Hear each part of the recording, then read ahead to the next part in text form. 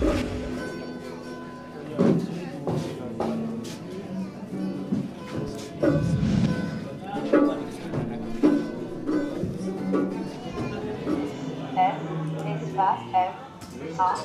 M, S, A, M.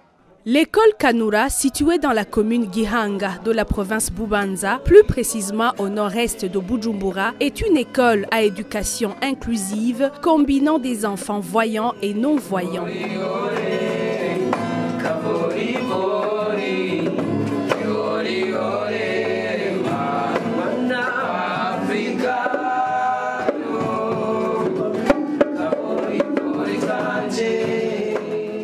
Sommes le 20 janvier 2024 au chant rythmique aux paroles pleines de conseils. Telle a été l'ambiance qui régnait débutant les cérémonies de la remise des certificats aux lauréats de cet établissement pour sa troisième promotion.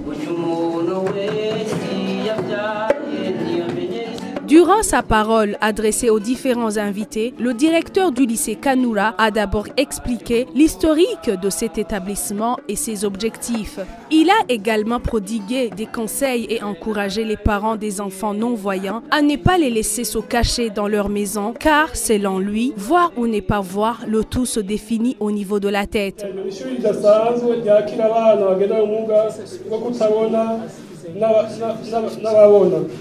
Kandi bigenda neza turabigisha bakamenya ndetse bagasunza n'abo twita ngo barabona.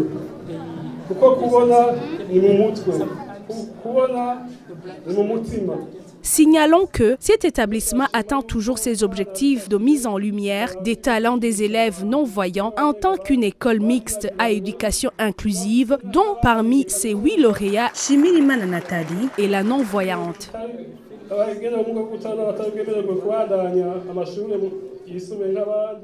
Avant de passer la parole aux invités, le directeur du lycée Kanura a exprimé sa gratitude envers Menya Media pour la contribution de six salles de classe, de différentes machines et ordinateurs facilitant les non-voyants dans leurs tâches, instruments musicaux et bien d'autres.